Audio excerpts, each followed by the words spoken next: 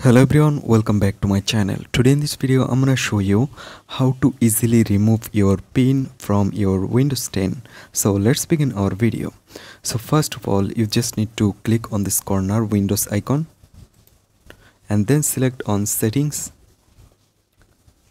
Right now select on accounts.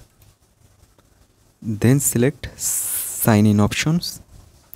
Right now uh, if you select uh, if you set pin or password which one you set you just need to select it. Like I select password so that's why I select it. Right now you can get a option for change. Select it. Right now you just need to give your current uh, password. And then select next.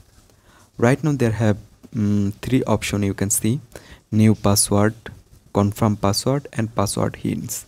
If you want to uh, remove it don't need to type anything just select next and then finish.